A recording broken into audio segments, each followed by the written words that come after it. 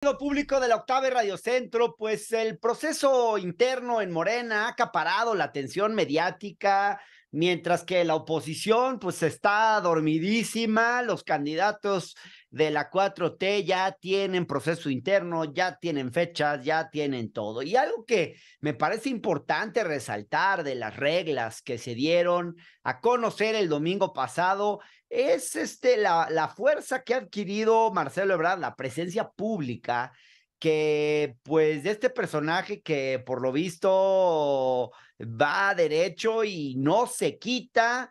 Y bueno, pues es interesante cómo está llevando mano en el establecimiento incluso de las reglas del proceso interno que logró moldear de alguna forma de acuerdo a sus intereses. Si ustedes se fijan, pues le concedieron varias de sus solicitudes. hay que recordar que la hora canciller eh, le hizo llegar una carta a Mario Delgado desde diciembre y ha venido haciendo una serie de planteamientos sobre cómo debe ser el proceso interno, que han sido atendidas. Ahora sí que Marcelo Ebrard supo imponer agenda. Primero, bueno, la renuncia de los aspirantes, una de sus principales propuestas que se vio reflejada en la anticipación con la que anunció su renuncia, que luego siguió la de Sheinbaum y así, y, y este, y cómo, cómo pues, este, otras de las propuestas de Marcelo Ebrard también se consideraron, por ejemplo, el tema de la supervisión de la encuesta.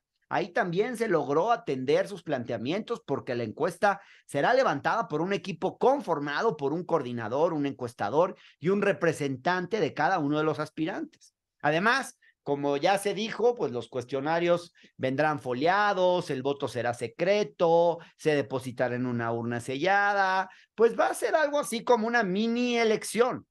El equipo firmará un acta de inicio y un acta de término de la jornada. E, e, es decir, Será una encuesta muy supervisada y además, pues vendrá una sola pregunta eh, que pues es también lo que quería Marcelo.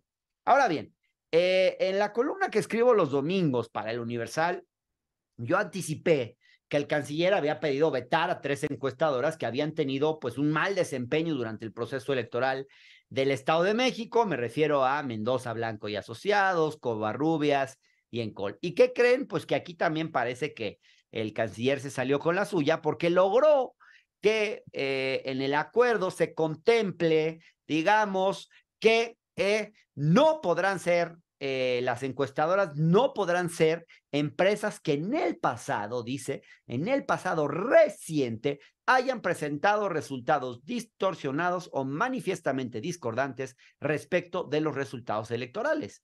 Es decir, que ninguna de esas encuestadoras que yo les anticipaba, Mendoza Blanco y Asociados, Covarrubias y Encol, podrán realizar eh, los ejercicios espejos según todo parece indicar. Así que bueno, se le han concedido a Marcelo buena parte de las cosas que pidió, no todas, por ejemplo, no se aceptó que haya debates, cosa que lamento porque creo que de, pues eh, hubiera sido importante que, haya un ejercicio de contraste entre la visión de país y las propuestas de los contendientes y que esto no sea simplemente un concurso de popularidad.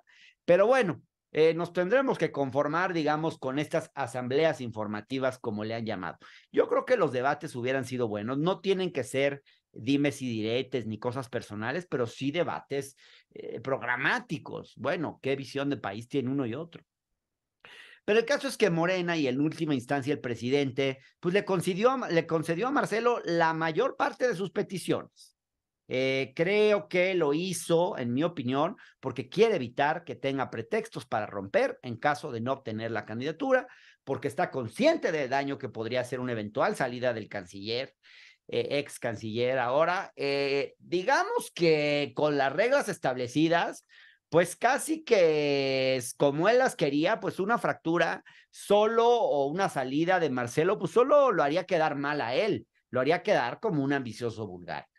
Querido público de la Octava Radio Centro, yo creo que sí es relevante el nivel de compromiso y seriedad con la que el partido se sentó a establecer las reglas de su proceso interno.